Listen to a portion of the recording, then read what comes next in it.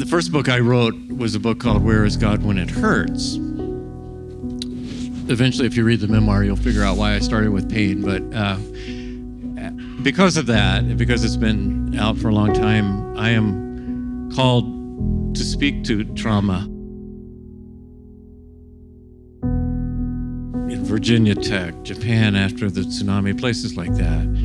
And there are some questions that I do not attempt to even pretend to answer. And I, I wish we all should keep silent.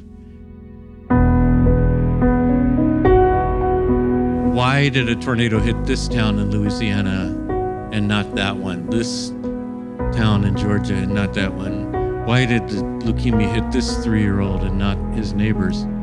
Nobody knows the answer to that question. Just let's keep silent. We don't know, and the Bible doesn't tell us. It just does not.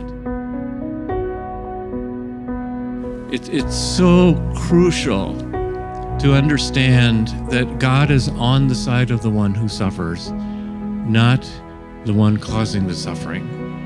And I, I, I am so confident of that answer because God gave us a face. And Hebrews says it's the exact image of the invisible God, Jesus is.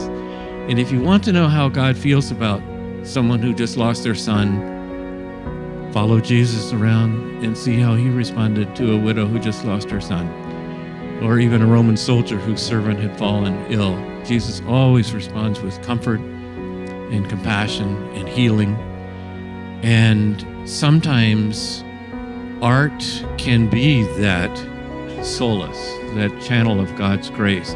And, and sometimes it, it is words uh, that they help as well. But what we as Christians are called to do is to bring that that note of comfort and hope